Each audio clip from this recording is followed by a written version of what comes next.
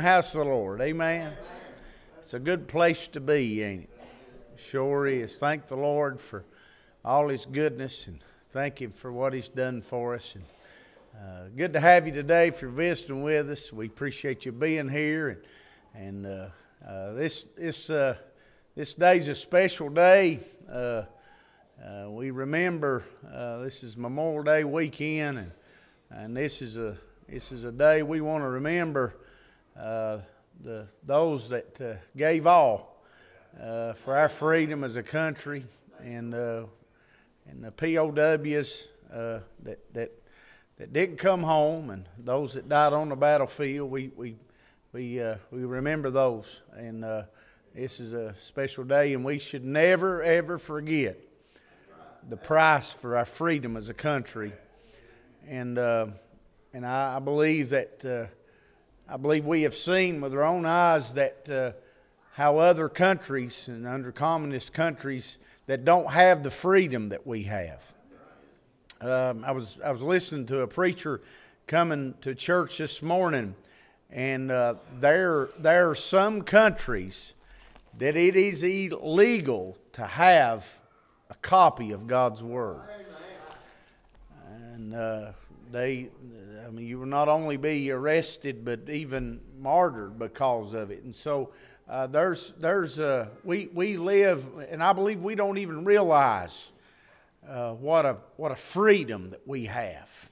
And freedom didn't come free to us.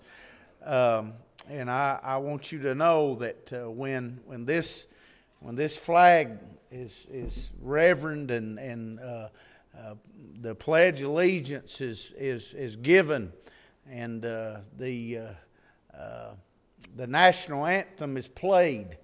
Uh, people died for that. Man. And it's the least we can do to stand to our feet and cross our heart and give reverence to, to this flag. But I want you to know this flag means something too. There's a man named Jesus died for this flag right here. Amen. He died for your freedom. It's what, that's what that stands for, too. Salvation's freedom. Amen. And, and we should never, ever forget the price that's been paid for our salvation. What a great price. He gave his life. No man took his life. He laid his life down freely. And we, when we think about the freedom of our country, we think about the freedom of our salvation as well. So we may we never forget May we never, ever forget the freedom that we have today. And I sure am glad we've got this freedom. We've got freedom as, a, as, as an American, as a country, but also freedom in our salvation uh, that, that Jesus has set us free from the bondage of sin. Amen. Uh, good to be here today. Appreciate you being here. And, and uh, it's good to have uh, Waylon Williams with us today. This is uh, Gary Phillips' brother uh, Mitchell's uh, grandson, and he's got the whole family with him. They're from North Wilkesboro, and, and that is right, ain't you're From North Wilkesboro, and uh, and he. Uh, uh, the Lord called him to preach a year ago, and he's in, and the Lord's doing a great work uh, uh, through uh, his life, and and it, it's encouraging to see. And I mentioned this before. We've seen uh, God call um, Corbin and Caleb and and uh, um, uh, Brian Brown's son that came and preached for us too. So God's calling uh, young men to preach, and and and that is that's encouraging to me. Because when you turn the news on and you see the current events, uh, we're living in a dark day, aren't we? And it's very discouraging to see how the wickedness is is is just uh, waxing worse, as the Bible says. But it's encouraging to me that, that God's still calling men to preach His Word. Uh, that, that ought to give the sinner hope today and encouragement that, uh, that God's calling a man to tell them about Jesus, tell them that there's hope for them. Amen? And so you pray for him as he comes today. It sure is good to, good to have him today.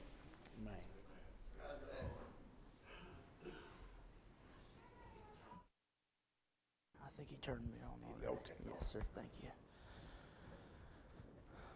It's good to be in the Lord's house this morning. I'm thankful for all the many opportunities God's given me in the past year and a half. I, I answered the call And uh, I'm thankful for it because there's so many people in these days that they just don't know what their purpose is in life. And there's so many young people that go through so many trials and errors and they just don't know, God, what am I supposed to do with my life? And I'm thankful that when I was a young child, I gave my life to Christ, and later He called me to preach, and I'm thankful for the many opportunities He's given me. I ask you to pray for me this morning, calm my nerves. This is, it, it's something. Lord's been awful good to me. God is good. I'm going to be doing a little bit of flipping around, but uh, like the preacher said, I'm from North Carolina. I'm from the, the area between Wilkesboro and Caldwell County. And so my mother's from Wilkesboro, and my father's family's from Burke County, and so I kind of I'm on that line between Caldwell County and Wilkesboro. But um, I'm thankful for all my family here. Like the pastor said, my uncle's Gary Phillips. Uh, don't hold that on me or nothing, but uh, I love my uncle Gary. But um, anyhow, we're going to be opening our Bibles to Exodus chapter, let's see, 27 this morning. Like I said, I'm going to be doing a little bit of flipping around, so if you'd like to, you can join me. I'm thankful for God's word this morning. I'm thankful for what He's done for me.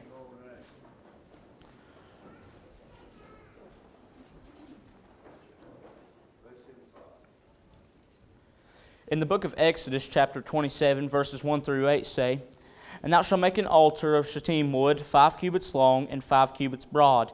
The altar shall be foursquare, and the height thereof shall be three cubits.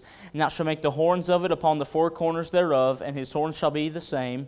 And thou shalt overlay it with brass. And thou shalt make his pans to receive his ashes, and his shovels, and his basins, and his flesh hooks, and his fire pans, and his vessels thereof thou shalt make of brass. And thou shalt make for it a grate of network of brass, and upon the net shalt thou make four brazen rings in the four corners thereof, and thou shalt put it under the compass of the altar beneath, that the net may be even to the midst of the altar. And thou shalt make staves with the altar, staves of shittim wood, and overlay them with brass. And the staves shall be put unto the rings, and the staff shall upon it the two sides of the altar to bear it. Hollow the boards shalt thou make it, and show thee in the mount, so thou shalt make it. Let us pray. Dear Heavenly Father, God, we come to you thanking you for your many blessings, Lord God, for just the opportunity, Lord. Lord God, I want to thank you for safe travels, God. God, I ask you to use me. Might I be put to the side for the next few moments, God. God, I'm an empty vessel asking to be filled, Lord. God, would you use me? Use my lips, use my tongue, God. Would you speak through me, God? I ask you, Lord, if there are a hungry person in the midst today, God, God, that they might be filled with your Holy Spirit, God. God, would you remind us to carry your word, Lord? Lord God, we love you and we thank you for your many blessings on us. In Jesus Christ's name we do pray. Amen. For the last couple of months, I, I guess it's been months at this point, but um, for the last couple of months, I've been studying on the tabernacle of God. And for those of you who don't know, that is when the Israelites escaped from the slavery in Egypt and they needed a place to meet with God. They were hungry for God's presence, and God was hungry for His children. Aren't you excited that God had a want for us? Aren't you excited that God wanted His children? Amen. As we walk through the tabernacle, there's three different, I guess you could say, layers to the tabernacle. You have the court of the tabernacle, and that's where I began talking about this altar. This altar was an altar for blood sacrifice and sacrifice by fire. It is where they would take an animal, and they'd take this animal and they would sacrifice it, hoping on the Day of Atonement, they'd take this animal and sacrifice it, hoping that their sins would be cleansed for one year on the Day of Atonement.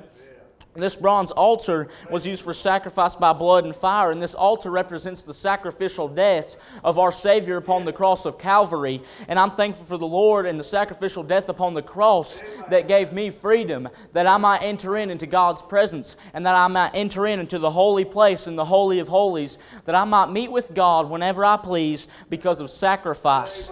I'm thankful for this bronze altar. This altar means a lot. And like we have altars at our churches, this altar was an altar of sacrifice. Just like we might give our lives to Christ, the life of an animal was given to God that it might cleanse those people of that time, that it might cleanse them and give them freedom from their sin. As like I said, I'll be flipping around here.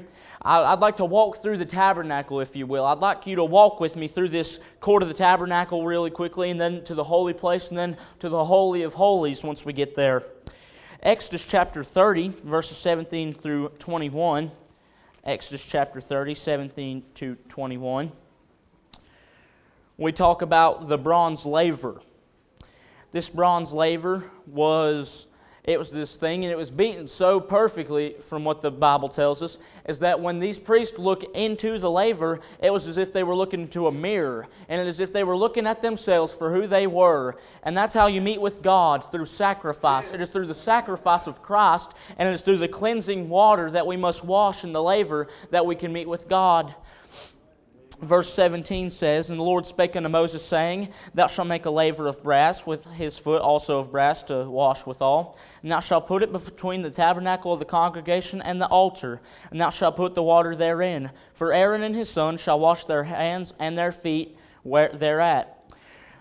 When they go into the tabernacle of the congregation, they shall wash with water eh, that they die not, or when they come near the altar to minister to burn offering made by fire unto the Lord. So they shall wash their hands and their feet, that they die not. And it shall be of a statute forever to them, even to him, to his seed throughout their generations. You see, before we come to God, we must come through a place of cleansing and washing.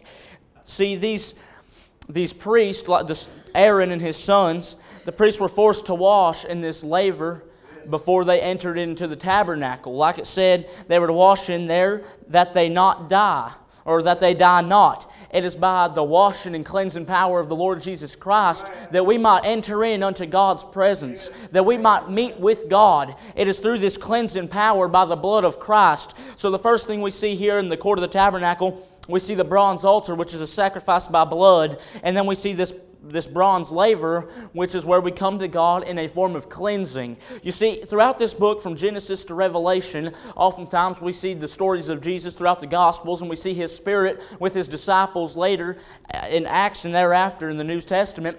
But oftentimes we haven't thought about where is Jesus in the whole Bible. I'll tell you from the books of Genesis to Revelation, Jesus Christ is taken a part in everything of every time, of every one. And I'll tell you today, it hasn't changed since then. Christ should take part in our homes and in our lives and in our marriages and in our families. Jesus Christ should take place in every single part. And just as the Old Testament, just as Genesis, Exodus, second book of the Bible, here we're already seeing God working. We're already seeing the works of Jesus Christ just here in the second book. And we're seeing it taking place now. I truly do believe that we are living in the times of Revelation. We are watching it take place. We are watching the events unfold. And Jesus Christ is still living and He's still working. And I'm thankful for his sacrifice by blood on that bronze altar. And I'm thankful for the cleansing power of the laver in which God came unto us that we might be washed by his blood. The court of the tabernacle. That's the first layer into the entering of the tabernacle. You see, this tabernacle was a holy place God commanded unto Moses to create. He wanted, he had a hunger for his people. He wanted his people, and he wanted to be in their presence.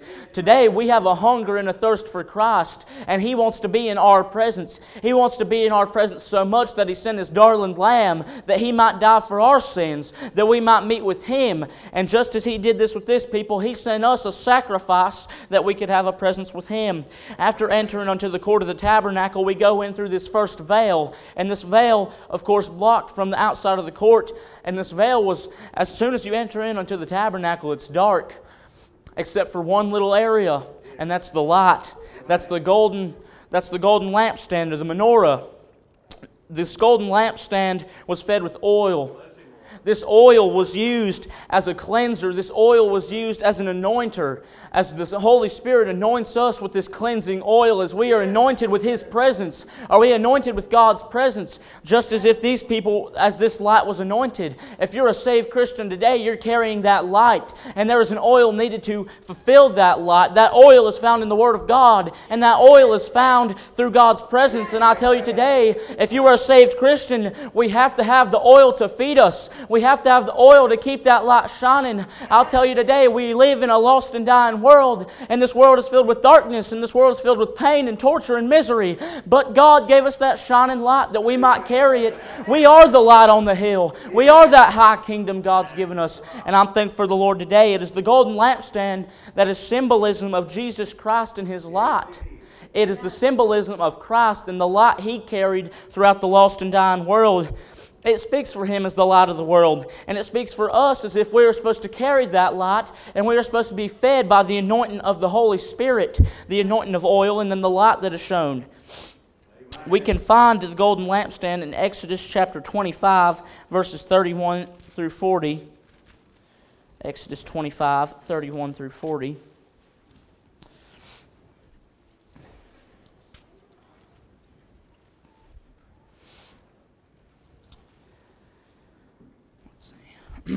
And thou shalt make a candlestick of pure gold, and beaten work shall the candlestick be made. His shaft and his branches, his bowls, his knobs, and his flowers shall be of the same. And the six branches shall come out of the sides of it three branches on the candlestick on one side, and three branches of the candlestick out the other side.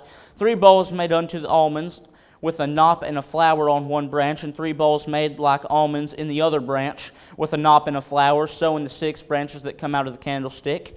And in the candlestick shall be four bowls made like unto almonds, with their knops and their flowers. And there shall be a knop under two branches of the same, and a knop under two branches of the same, and a knop under two branches of the same, according to the six branches that proceed out of the candlestick. Their knops and their branches shall be the same, all it shall be one beaten work of pure gold. And thou shalt make the seven lamps thereof, and thou the light and the lamps thereof, and thou shalt give light over it, against it. And the tongs thereof, and the snuff dishes thereof, shall be of pure gold. Of a talent of pure gold he make it, and with the vessels, and look thou that thou make them after their pattern which was showed thee in the mount. I've explained to you what this lampstand means, and inside of the tabernacle, this was the only source of light. This tabernacle is where we met with God, or the Israelites met with God in this time, and it was that golden lampstand that shone light to the entire tabernacle. That was the only bit of light left, and that would be to your right as you enter in unto the tabernacle, and to your left would be the table of shewbread, mentioned in Exodus 25, verses 23 through 30 the table of shewbread. Thou shalt also make a table of shittim wood. Two cubits shall be the length thereof, and a cubit of breadth thereof, and a cubit and a half of height thereof. And thou shalt overlay it with pure gold, and make thereunto a crown of gold round about it. And thou shalt make it unto a border of a hand breadth round about, and thou shalt make a golden crown to the border thereof round about. And thou shalt make it four rings of gold, and put the rings in the four corners that are on the four feet thereof. Over against the border shall the rings be for the places, and the staves to bear the table. And thou shalt make the staves of shittim wood, and overlay them with gold, and the table may be borne with them. And thou shalt make of the dishes thereof, and the spoons thereof, and the covers thereof, and the bowls thereof, to cover withal. And pure gold shalt thou make them. And thou shalt, shalt set upon the table shewbread before me away.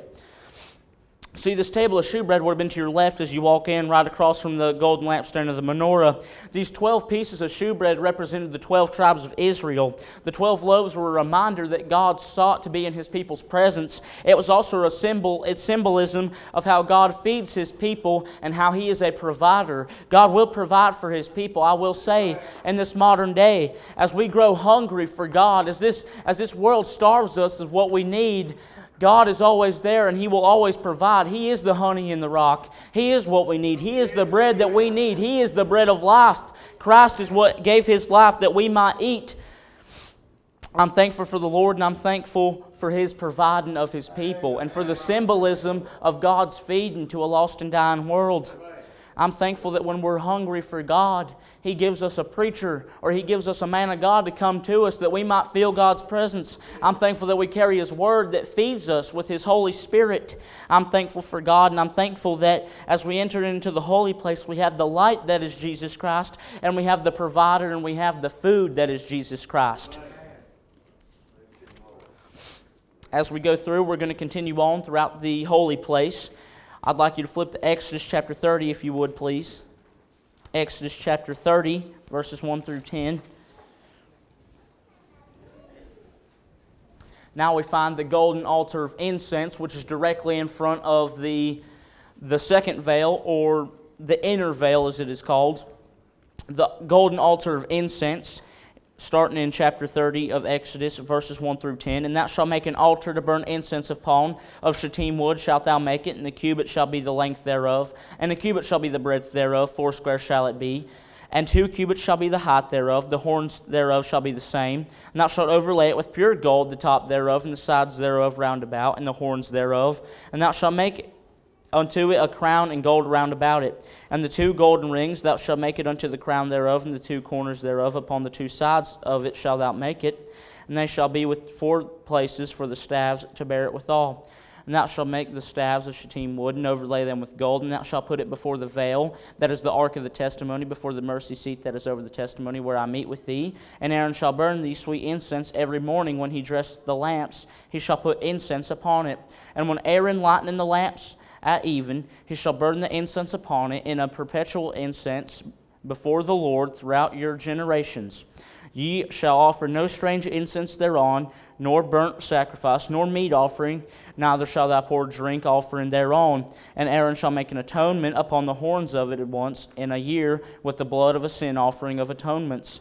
Once in the year shall he make an atonement upon it throughout your generations. It is most holy unto the Lord you see, I read all this scripture because scripture is important to know. And it's important that we recognize what God is doing. If you've paid attention to the scripture that I've read so far, God is not asking these people to do it. He is commanding them. He's saying, I want to be in thy presence. If you want to join me in my presence, I'm going to command you to do these things. And if you look at God here, He's given direct directions. Oftentimes, how many times does the Lord give us direct directions and we think, well, maybe I can do something just a little bit different, Lord? Lord. How many times has God called us to do something, or how many times has God led us to do something, and we come to God, well, maybe I can do it a little bit different. He said, if you want to meet with me, you're going to have to do it my way. And the way is through Jesus Christ on Calvary. And I'll tell you today, you can't get to heaven on your way. You can't receive salvation on your way. I'm telling you today, there's plenty of people on this lost and dying world, and they're sitting on a church pew, and they're reading their Bible, and they think they've got everything they need, and they donate money to the church, and there's still people doing those things that are going to go to hell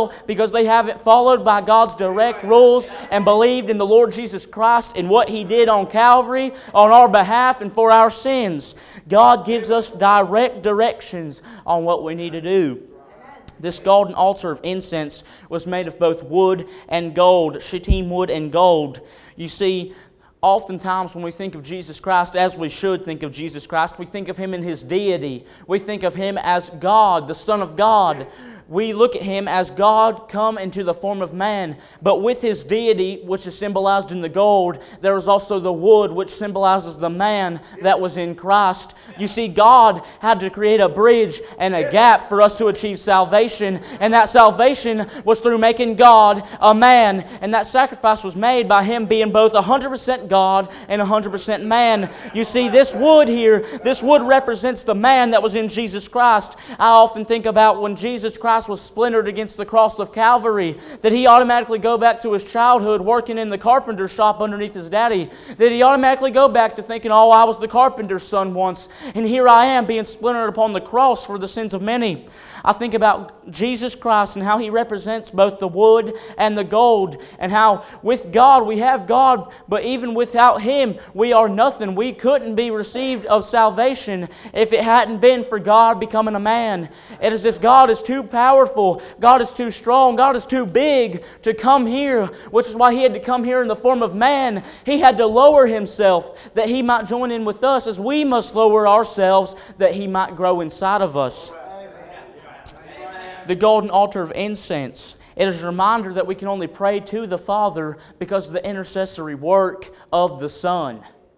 We wouldn't be here today without the Holy Trinity. It is the God the Father, God the Son, and God the Holy Spirit. Not three gods, one God, one Trinity, three. I'll tell you today, it is because of Jesus Christ and the sacrifice He made that we can have prayer to the Father. He is the intercessor. He did the works that we might have a relationship with God the Father. This incense is a symbolism of the offering of prayer.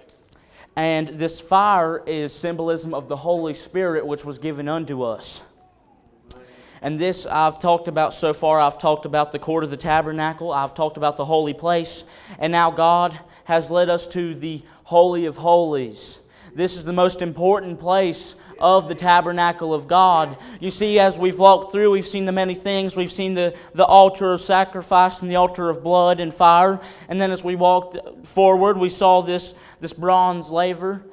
And as we washed there, so first we saw the sacrifice by blood, then we saw the cleansing power in the holy water, and then as we entered in through the first veil, we found the table of shewbread, the providing of God, and now we have seen the light And of course, now we have seen the final thing that is in the holy place, and that is the golden altar of incense. As you can see, like I said, from Genesis to Revelation, Jesus Christ has taken part in every single event to take place in human history.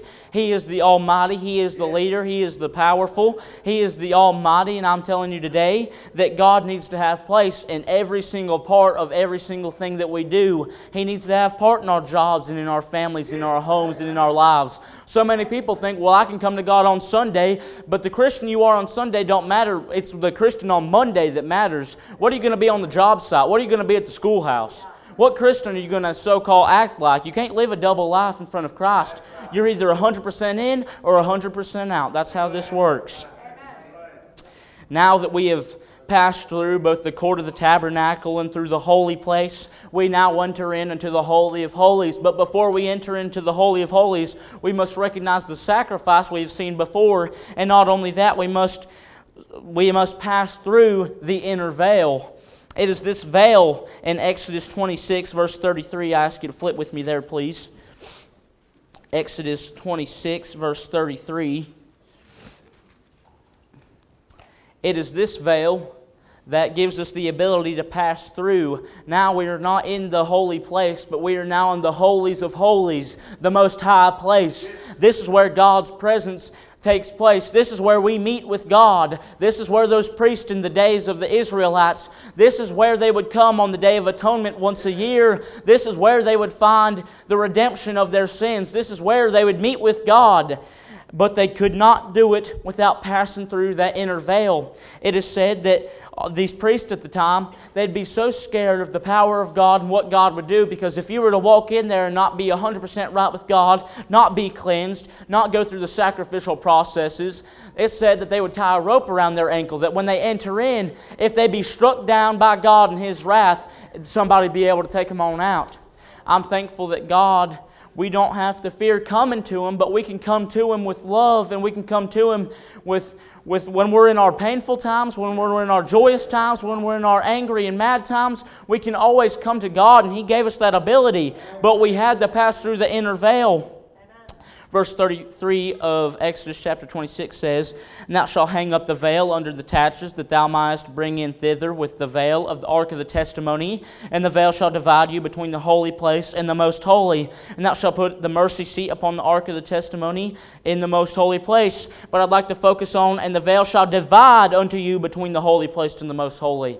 As we look at this, there is a division there's a division between man and between God. And in these times, in the times of the Israelites, these people, oftentimes as you looked across the world, these people, they would be against God. There's so many false idols out there, so many false deities and beings that these people go out and praise. There was a division between man and between God, but God sought to be in our presence. God wanted, He had a want for His children. He had a desire to keep us in His hearts and in His mind. I'm thankful for a God who wanted me when it felt like nobody else wanted me. I'm thankful it's in those times that I was down on my face crying. I'm thankful it's those times that I feel like the whole world's against me and I feel like I got nothing left to go. I'm thankful that it's in those times that God is with us and God has a want for us and He wants to do so much great in you. I'm telling you, if there's a lost person in here today who hadn't given their life to Christ, there's so much God wants to do with you. There's so much happiness and build up He wants to do inside of you. You just got to give your life to Him. But we have to pass through this inner veil before we can enter in unto the Holy of Holies. You ask me, what is this inner veil? This inner veil is the visual representation of the body of Christ Jesus. It is through Him that we have the ability to meet with God. It is through Him we have the ability to feel God's presence. It is through Him we have the ability to enter in and feel the presence of God in the holies of holies and in that holy, holy place. It is the veil that was hung between, it was a divider. Jesus, rather than being a divider, He combined man and God. He is the bridge. There was once a day we wouldn't have been able. I, my preacher likes to say, I didn't hear no cattle trailers rolling up in here this morning. I didn't hear a cattle trailer rolling in here for us to do a yearly sacrifice that we might meet with God once a year and seek redemption for our sins. I know that Jesus Christ made the sacrifice. He was the ultimate sacrifice. He was the veil. And if you know your Bible well, if you look over in the New Testament, it says as soon as Christ led up the ghost, The veil was rent in twain from top to bottom.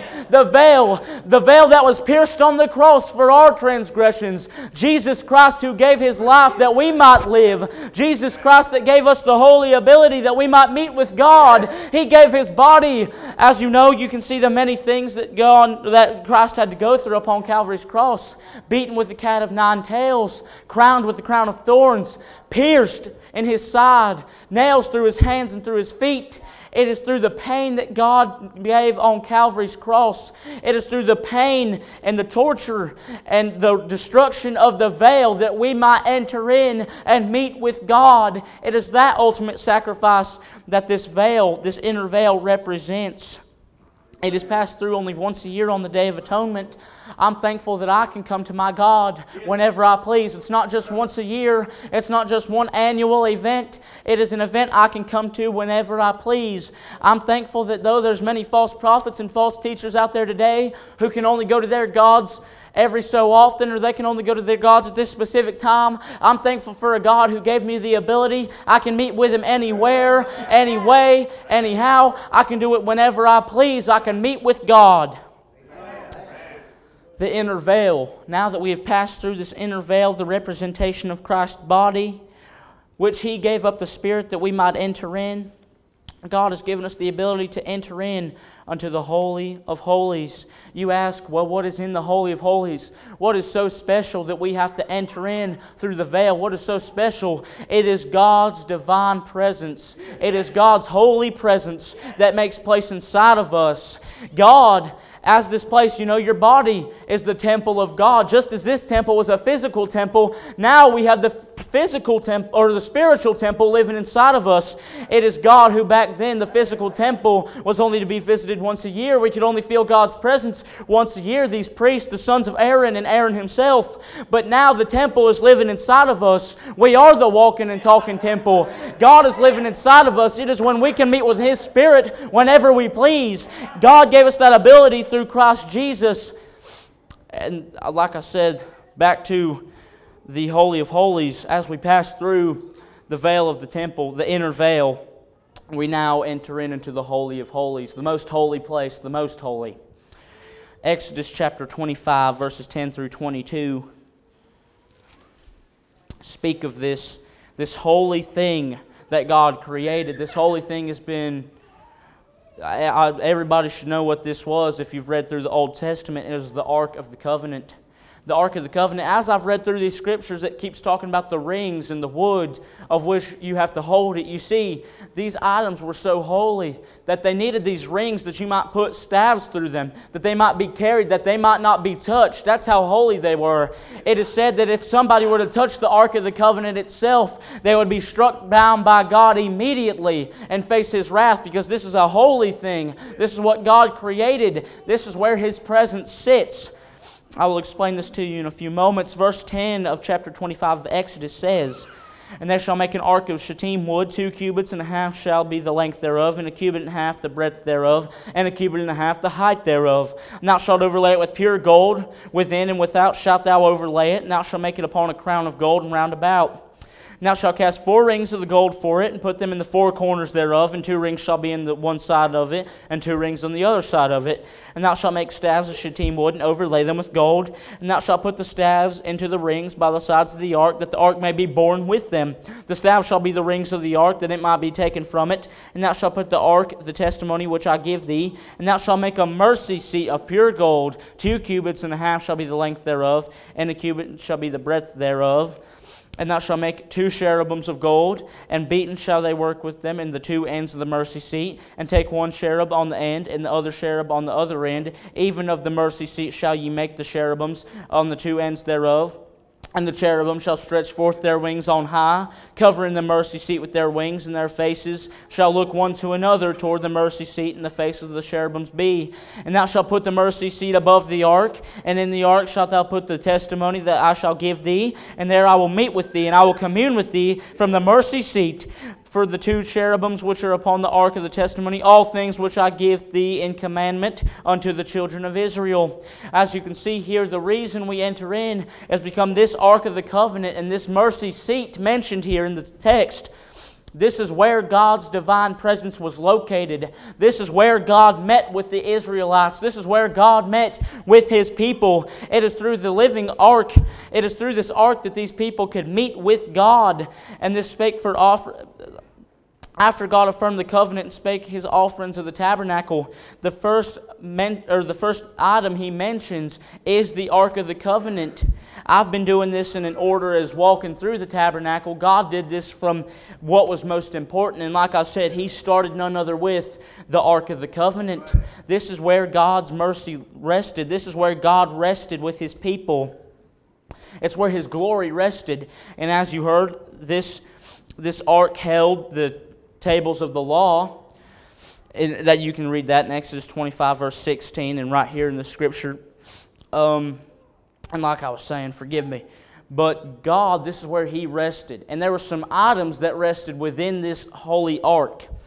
You see, like, uh, like I said, the tables of the law. And then you also had Aaron's rod that budded, that is mentioned in Numbers 16 and 17. Then you got the third item, which was a pot of manna, which is read in Exodus 32 through 34. You see, all three items that were located inside of the Ark of the Covenant were, located, or were related to rebellion.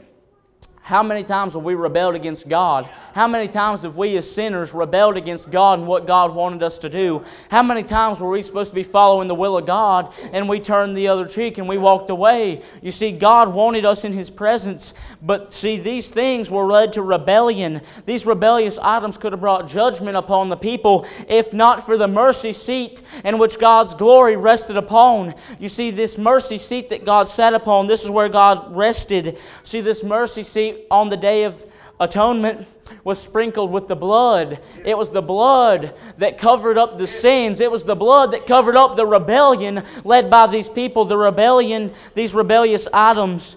Of course, the tables of law were associated with the making of the golden calf and Aaron's rod is associated with the rebellion led by Korah. And this pot of manna is associated with the Israel's complaining in the wilderness. You see, it is all these rebellious items located within that should have brought judgment upon you and I. It is the rebellious spirit and the rebellious flesh that we carry that should have brought judgment from God. But rather than judging us, He sent down the living mercy seat that Jesus Christ might cover up our sins, that it might be His blood where God was located, that it might cover up who we truly was. And now, now we know that we are no longer sinners, but we have been saved by Christ. The Ark of the Covenant and the mercy seat See, these items could have brought such judgment upon the people, but the blood covered their sins. And rather than seeing their sins and rather than seeing their rebellion, what did God see? He saw the mercy that he had upon them and he saw the blood. Just as if God saw the blood on Calvary's cross that forgave our sins. It is when Christ let up the ghost that man might receive his spirit, that man might receive God for who he truly was and who Jesus Christ is. And I'm thankful for the death, but most of all, I'm thankful that three days later he rose from the grave. I'm thankful I'm not supporting no dead God. I'm thankful that my God's not in a grave somewhere. I'm thankful that my God's risen and he's coming back one of these days. I'll meet him in the air with all the other saints, and I'm thankful for God. Like I said, it's by the blood. It is by the blood that we know Christ. It is by the blood that we have met with Him. You see, I've mentioned this Day of Atonement. There's so much that goes into the Day of Atonement. And like I said, this was an event that took once a year. Aaron and his sons, who were the first priests, and they had to meet with God in this, in this place this tabernacle. And it is through God that they could feel His presence, and it is through this tabernacle that they could feel His presence. But there was one more event that took place. I've walked you through. I've walked you through the court of the tabernacle and the holy place, and we've walked through the Holy of Holies by far the most holy, the most high. This is where God's glory rested. And now we walk back through the tabernacle of God and we walk back to the court. And now we're walking outside of the court. This is the event that took outside of the court of the tabernacle. You see, this tabernacle had these makeshift walls around it. It was not, it was not open to the other parts of the encampment. Like I said, there was a divide between man and God in this time, just as if these veils and curtains that covered up the tabernacle were covered up by this. This is what covered up God in this time and hid himself from man, but God had a want for them. there's a, if you'd like to, you can flip to Leviticus chapter 16, verses 15 through 34. It talks about another event that takes place outside of of the camp, or uh, outside, uh, yes, outside of the encampment, but also outside of the tabernacle, and that is none other than the scapegoat or the goat sacrificial death. It is this scapegoat, starting in Leviticus chapter 16, verses 15 then shall he kill the goat of the sin offering that is for his people, and bring the blood with the veil, and do that blood which he did with the blood of the bullock, and sprinkle it upon the mercy seat and before the mercy seat. And he shall make an atonement for the holy place and the uncleanliness of the children of Israel, because of their transgressions and their sins. So shall he do the tabernacle of the congregation, that he remaineth among them in the midst of their uncleanliness. And there shall be no man in the tabernacle of the congregation when he goeth into make an atonement in the holy place until he come out and be made atonement for himself and for his household and for the congregation of Israel. And like uh, continuing with the scripture, we see this goat. We see these two kid goats. And this was these two kid goats were equaled one sin offering unto God these two goats, you see, one of them would be killed and died as a sin offering for the whole nation. One would be killed that its blood might be spilled upon the mercy seat, that it might cover up our sins, or that it might cover up the sins of the people of Israel. But that other goat, I, say, I call it the scapegoat because that's what the Bible refers to it as the scapegoat. This scapegoat, it was the goat that it was symbolism of how these people would symbolize the cleansing of their sins. And on this day of atonement, they would take this goat and they would sacrifice it. And with the other goat, the scapegoat, they would let it loose out of the encampment. And see, this scapegoat symbolically carried the sins of the people and was sent out into the wilderness, never to be seen again. See, our God casted our sins as far as the east is from the west. And just as this scapegoat carried the sins of the people, and just as this scapegoat carried those sins out of the encampment, out of our lives,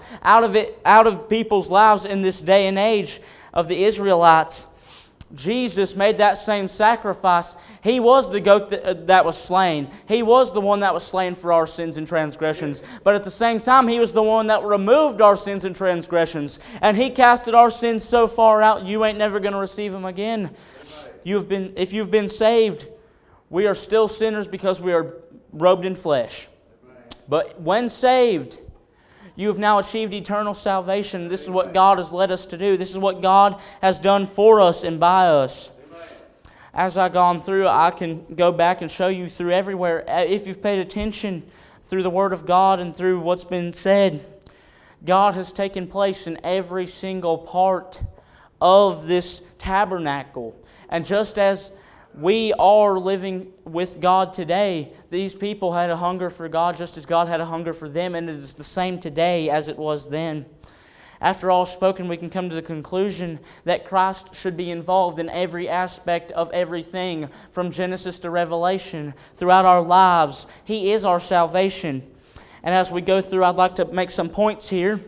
He is our sacrifice by fire and blood. He is our cleanser and He is our washer. He is our provider and He is in our presence. He is our light of the world and He is our anointer of holy oil. He is our intercessor and He is our holy fire. He is our welcomer and He is our way maker. He is our merciful caretaker and He is our forgiver and He is our scapegoat and the remover of our sin. As you can see, before we can meet with God, there had to be sacrifice, and it is through the sacrifice cross of Christ Jesus. And it is through these roles that He played in our lives. It is through these things that we can meet with God, or that the Israelites could meet with God, and that we can meet with God. There had to be a sacrifice, and that sacrifice was the life of Jesus Christ. And His sacrifice on Calvary is what saved our souls from hell. And I'll tell you today, if there be a lost person in the presence, I recommend if you want to meet Christ one day, I recommend you crawl, you crawl down to an old fashioned altar and you get right with God and you meet with Him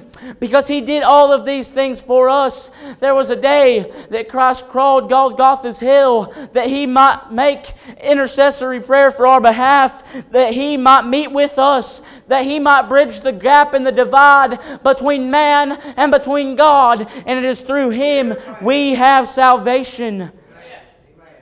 I'm thankful for God in each role He played. I'm thankful for this tabernacle that we have walked through together. I'm thankful for the sacrifice He made, just as we honor those lives on Memorial Day who died for our freedom in foreign lands. There was once a great soldier, there was once a great fighter for God who died for our sins, who died for our freedom, freedom from sin. We no longer have to carry the bondages and burdens of sin because God has freed us from them.